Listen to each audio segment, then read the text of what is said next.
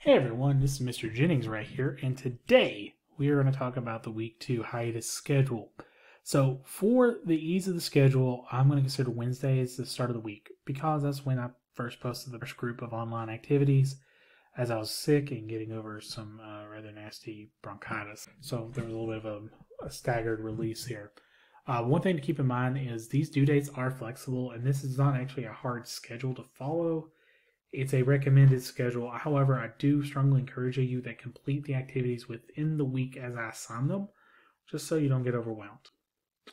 First day, I recommend watching the video on karyotypes. It's just a simple review. Just it's a I think I got it like no more than a video. Just watch over karyotypes just to review a little bit.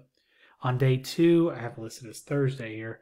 Uh, you may want to watch the video on meiosis. Um, it's a re- again a review video for the most part, but yeah, I want you to work on the meiosis worksheet to help reinforce what we learned about meiosis a few weeks ago.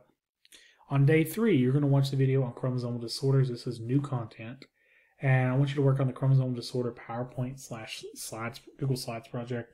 That is a solo activity, and you will have to watch the video on that, to kind of get a better understanding of it. On day four, you're going to watch the video on pedigrees.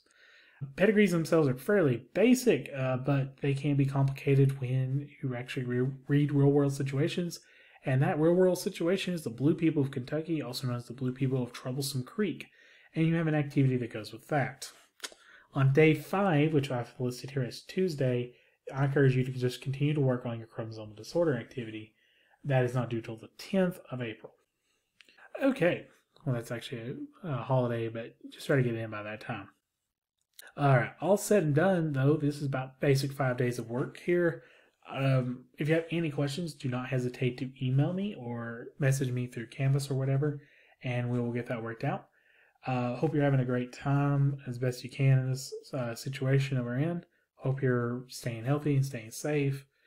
And all things considered, hope things are going well. Have a wonderful time, though. I am Mr. Jennings. See ya and have a great day.